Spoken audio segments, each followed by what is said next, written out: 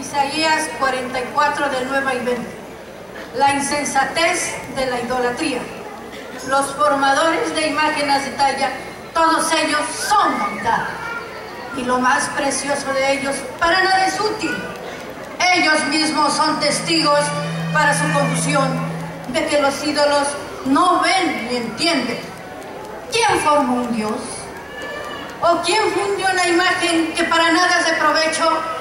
He aquí que todos los suyos serán avergonzados, porque los artífices mismos son hombres. Todos ellos se juntarán, se presentarán, se asombrarán y dirán, he aquí.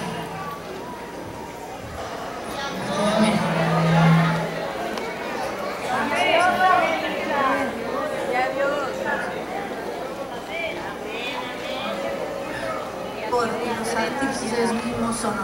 Todos ellos se juntarán, se presentarán, se asombrarán y serán avergonzados aún. El herrero toma la tenaza, trabaja en las ascuas, le da forma con los martillos y trabaja en ello con la fuerza de su brazo. Luego tiene hambre, le faltan las fuerzas, no bebe agua y se desmaya.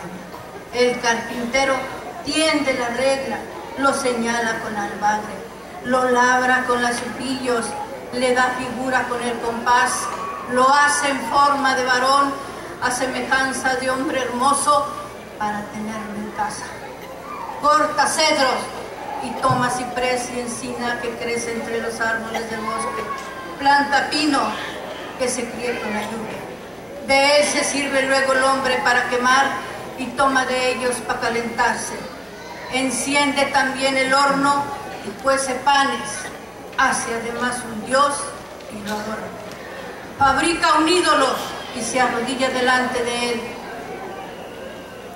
Parte del leño quema en el fuego y con parte de él se calienta. Prepara un asado y se sacia.